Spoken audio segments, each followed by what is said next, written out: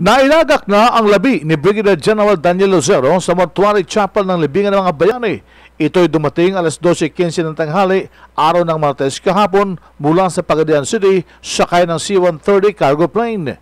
Nang dumating ang kanyang labi sakay ng funeral car, ito'y sinalubong at binigyan ng full military honor ni Army Chief Lieutenant General Noel Cobalias.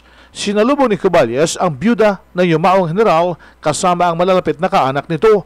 Dito rin nakatakdang ilibing ang labi ng general matapos na mapagpasyahan ng mga naulila ng pamilya at ito'y sa Sabado, June 8. Mananatili ang labi ni General Rosero dito sa Mortuary Chapel sa libingan ng mga bayani hanggang siya ay ililibing sa Sabado ng tanghali at sa gabi ng Biyernes isasagawa ang necrological service. Ipinabot naman ni Army Chief Lieutenant General Noel Cobalias ang personal na pakikiramay gayon din sa kabuuan ng hukbong katihan sa naulilan ng may bahay ni General Lucero. The Army and the leadership uh, would like to condole with the family of Major General uh, Lucero.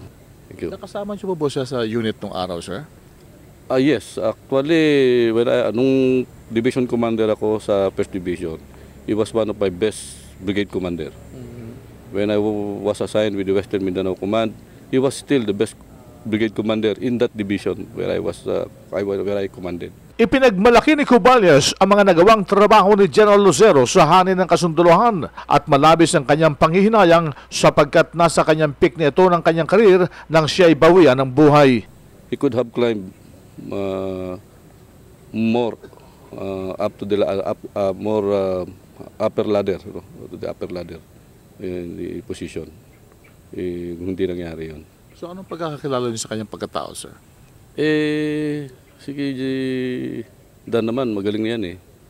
Ah, ah, yung kanyang rating sa akin as an officer and a, an officer and a commander, eh mataas. Siguro mga nasa 9 9.5, 9.8 yung rate niya sa akin at a scale of 1 to 10. ah. Si Army Chief Lieutenant General Noel Cobalias sa burol ni Brigadier General Daniel Lucero sa libingan ng mga bayani. Yan ang DCRS News, RH911, Bing Formento, naglilingkod sa pagbabalita.